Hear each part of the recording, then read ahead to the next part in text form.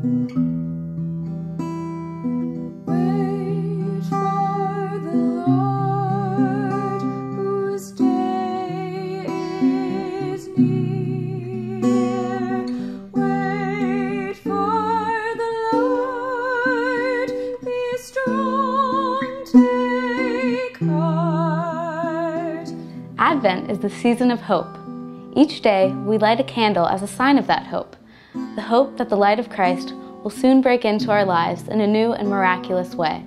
But in the town of Assisi this year, a different symbol of hope is on display a small wooden boat, its paint chipped and its edges worn by the battering of waves. It is the boat that carried migrants and refugees on a perilous journey across the Mediterranean to the shores of Lampedusa. The vessel, now transformed into a nativity scene, sits beneath a large Christmas tree outside St. Francis Basilica, where refugees from Afghanistan, Cameroon, Nigeria, and Syria gathered on Sunday for a lighting ceremony. Pope Francis joined remotely from the Vatican with this message for the refugees. Raise your head, the Lord is near, and with him is strength, salvation, hope. The heart, perhaps, is sorrowful, but the head is high in the hope of the Lord. In this week's readings, we gain a deeper understanding of that hope. Christian hope is not blind optimism about the path ahead, but a hard won trust, often born in the midst of suffering.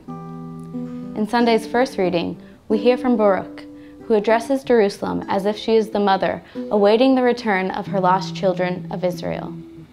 Led away on foot by their enemies, they left you, but God will bring them back to you borne aloft in glory as on royal thrones.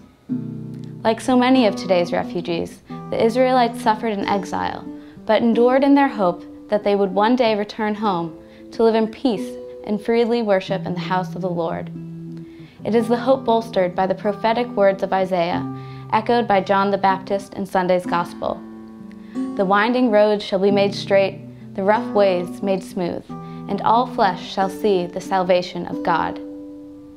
And yet, with this message of hope comes a call for a baptism of repentance for forgiveness of sins.